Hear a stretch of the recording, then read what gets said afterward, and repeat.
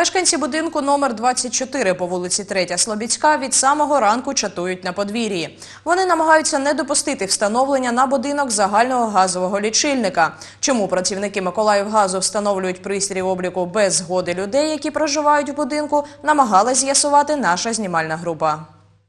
Нещодавно на дверях будинку з'явилося оголошення про встановлення газового лічильника. Мешканці будинку в один голос висловлюють свою незгоду. Не хочу платить за кого-то. Хочу платить только за то, чем я пользуюсь. За воду, которой я пользуюсь, за газ, который я пользуюсь. А за остальное я не хочу платить. Світлана Виштаченко наразі на пенсії. Розповідає, коштів, аби оплатити комунальні послуги, не вистачає. Жінка боїться, що після встановлення лічильника на будинок платити потрібно буде ще більше. Если бы мне не, не помогали дети, я бы абсолютно не могла существовать. У нас пенсия меньше, чем коммунальные платежи.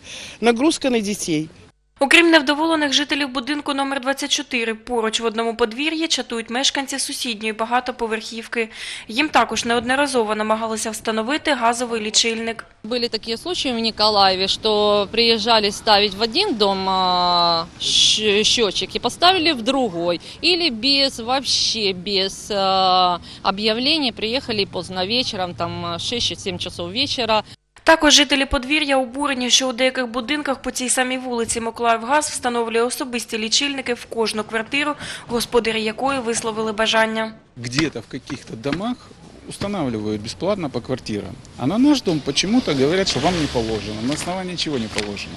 Поки наша знімальна група спілкувалася з обуреними мешканцями, співробітники Миколаївгазу встановлювати лічильник на будинок передумали. То не счетчик, то шкаф. Какой шкаф? Ну шкаф просто. Как, ну, а там еще не счетчика, ничего нету. Ну, будет же счетчик. там? Не путь, ничего. Наталя Забазнова, Андрій Заворотній, телевізійні новини Миколаївщини.